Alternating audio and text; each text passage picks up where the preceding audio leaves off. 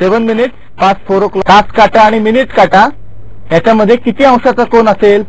असा आपला प्रश्न आहे. यांना अर्ध मिनिट देतो विचार करायला everybody can think for half a minute till that time I can draw that four seven position so this is four o'clock position this is five o'clock position now I know that hour hand will be somewhere just near 4 o'clock towards 5 o'clock position. And minute hand will be showing the 7 position 7 minutes between 1 and 2 position.